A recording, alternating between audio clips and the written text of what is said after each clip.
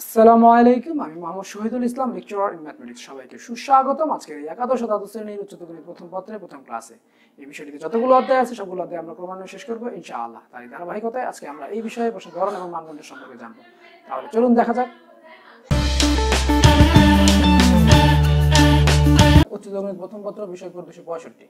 সৃজনশীল প্রশ্ন পঞ্চাশ নম্বর। প্রতিটি প্রশ্ন নম্বর দশ। সৃজনশীল প্রশ্ন দুটি বিভাগে বিভক্ত। ক বিভাগ এবং খ বিভাগ। ক বিভাগে বীজ গণিত জ্যামিতি থেকে চারটি প্রশ্ন থাকবে খ বিভাগ ত্রিকোণমিতি ক্যালকুলাস থেকে চারটি প্রশ্ন থাকবে।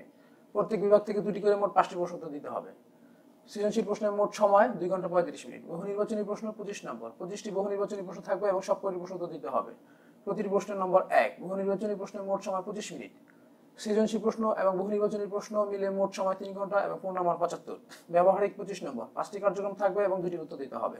সতেরো নম্বর, ব্যবহারিক খাতায় তিন নম্বর এবং মৌখিক পরীক্ষায় পাঁচ নম্বর। এই মোট ব্যবহারিক, ব্যবহারিকে পঁচিশ নম্বর। ধন্যবাদ সবাইকে ধৈর্য ধরে এই ভিডিও দেখার জন্য এবং পরবর্তী ভিডিও দেখার আমন্ত্রণ জানিয়ে আজকের মতো এখানে শেষ করছি। আল্লাহ হাফিজ।